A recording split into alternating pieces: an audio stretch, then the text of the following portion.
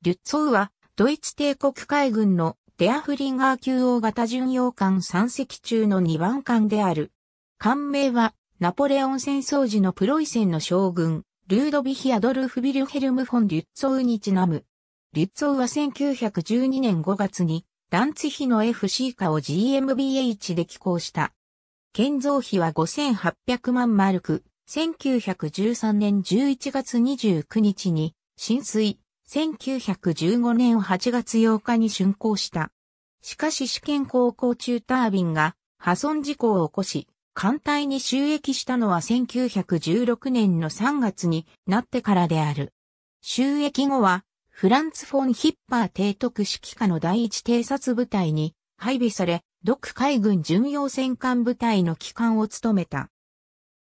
初出撃は1916年4月24日、英国沿岸部のローストフとグレートヤーマスへの艦砲射撃任務であった。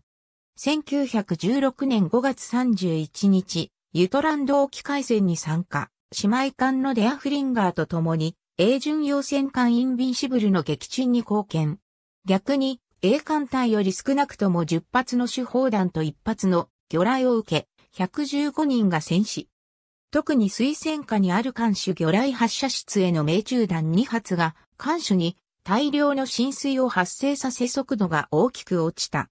ヒッパー提督は、魚雷艇を潜伏につけさせ、巡洋戦艦モルトケに異常。リュッツォウは、戦場からの離脱にかかった。その際リュッツォウの乗組員救助や、栄光のため魚雷艇 G38、G39、G40 が付けられ、G37、V45 が護衛に当たった。膨大な浸水を抱え込んだ、艦首部分の隔壁への負担を軽くするため、リュッツォウは排水を試みつつ、後進でビルヘルムスハーフェンへ進路を取ろうとした。しかし艦首への浸水は止まらずついにその量は7500トンに達し、艦は全部へ大きく沈み込んだ。そして艦尾とカジーは逆に海面から浮き出てしまい、スクリューは海面上で空回りを始めた。完全に航行不能となったことを受けて、魚雷艇側では栄光の準備がされたが、近海にいる英艦隊の追撃を警戒した艦首脳はついに艦の放棄を決意した。